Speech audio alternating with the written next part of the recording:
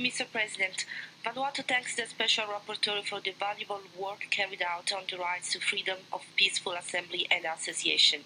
We commend the Special Rapporteur for shedding light on the critical challenges that impede accountability for serious human rights violations in the context of peaceful assembly and association. We appreciate the Special Rapporteur's identification of pathways to combat impunity for serious crimes while ensuring the restoration of the rights to freedom of peaceful assembly and association.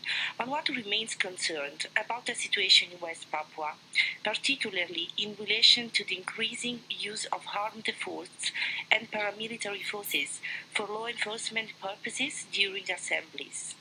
Vanuatu stands in solidarity with the people of West Papua, and we call on the international community to closely monitor the situation and support efforts to ensure the respect for human rights and the promotion of peaceful di- dialogue in the region. Once again, we extend our gratitude to the Special Rapporteur for the valuable insights presented in this report, which will guide our ongoing efforts to strengthen human rights protection in Vanuatu and beyond. And thank you, Mr. President. Thank you. Now let me invite Belarus.